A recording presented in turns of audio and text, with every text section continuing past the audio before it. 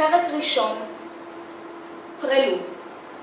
כוס אימא שלך שהביאה אותך לעולם זונה. שרלוטה, לדעתי גם אין לך ילדים ולא ולא שום דבר.